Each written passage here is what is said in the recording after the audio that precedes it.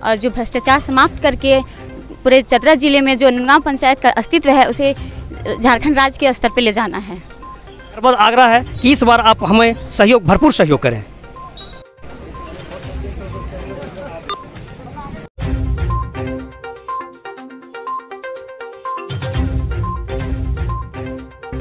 झारखंड में हो रहे त्रिस्तरीय पंचायत चुनाव को लेकर लोगों में उत्सुकता लगातार बढ़ रही है।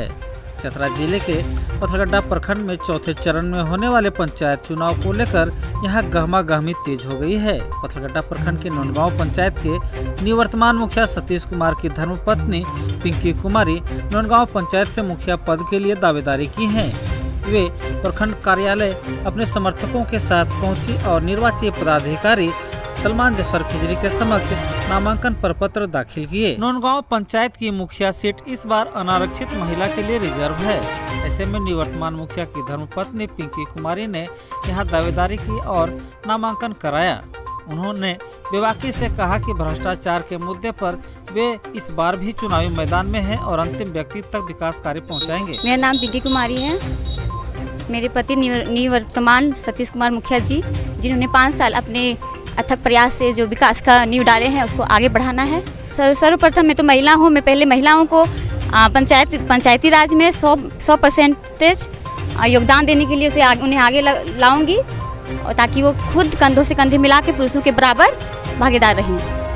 और मुखिया रहे हैं पाँच साल दो साल एक्सटेंशन भी मिला हम लोग को हम लोगों ने विकास का कार्य किया है और लोगों के वृद्धा पेंशन आवास कुआँ सही तरीके से को काम पीसीसी वगैरह का निर्माण करवाया, इस बार का चुनावी मुद्दा मुख्य रूप से है कि जो लोग कुछ वंचित रह गए हैं, उन लोगों को पूरा करना है, कुछ गरीब तबके के लोग जमे हुए हैं, उन लोगों को आगे बढ़ाना है और ख़ास करके एक है कि किसानों के लिए पुनः मेरी राय बढ़ेगी। इस, पिछले बार हम कुआँ का योजना लिए थे, इस बार हम चाह रहे हैं कि किसी भी हालत में लोगों को अच्छे से अच्छे पानी सोर्सेज का हम व्यवस्था करना चाहेंगे।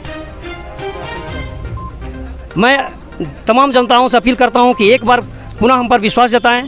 और इस बार तो हमें नहीं, हमारी धर्म धर्मपत्नी पिंकी कुमारी खड़ी है इस चुनावी मैदान में उस पर विश्वास जताएँ और फिर देखें कि नौनगांव में किस प्रकार से विकास की लहर दौड़ती है।